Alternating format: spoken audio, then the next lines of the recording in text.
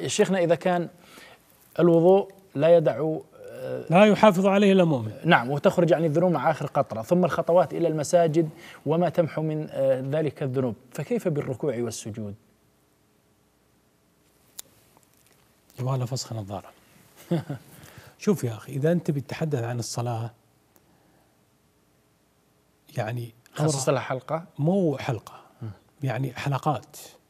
قضية الصلاة قضية أخرى يعني. بس أنا أنا أنا بعطيك في في إيجاز لأنك سألت. التوحيد والصلاة.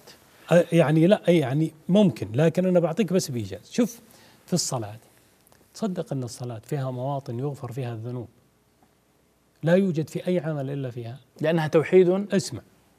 فإذا قال الإمام ولا الضالين فقولوا آمين. فإنه من وافق تأمينه تأمين الملائكة غفر له ما تقدم من ذنبه سبحان الله. هذا في البخاري. فإذا قال سمع الله لمن حمده فقولوا ربنا ولك الحمد. فإنه من وافق قول قول الملائكة غفر له ما تقدم من ذنبه. سبحان الله طيب دخل على اسمع. كنز. اسمع. والصلاة الخمس إلى الصلاة كفارة لما بينهما. أرأيتم لو أن نهرا بباب أحدكم يغتسل منه فذلك مثل الصلوات الخمس. يمحو الله بس هذا ب- بعجالة. نعم. بعد ذلك ما يحافظ عليها إنسان. ما يحافظ عليها إنسان. وشوف قالوا؟ ولذلك من من أعظم ال- الآثار لما تعلم بأن الله تعالى حفيظ وحافظ وأنه محصي لأعمالك وأن الله تعالى محاسبك عليها أمرك تعالى الله تعالى بحفظ الفروج.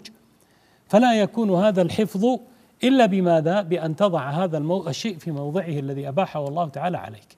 والذين هم لفروجهم حافظ. حافظون.